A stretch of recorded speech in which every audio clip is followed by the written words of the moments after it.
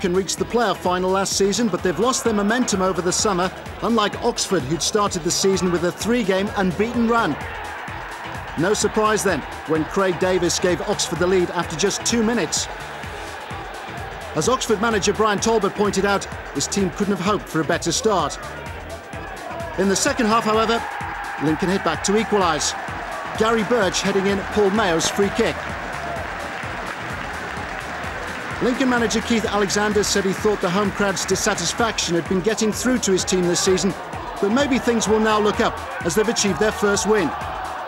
There was a hint of desperation about the winner, a scuff shot and a deflection, before Derek Asamoah scored his first ever goal for the club.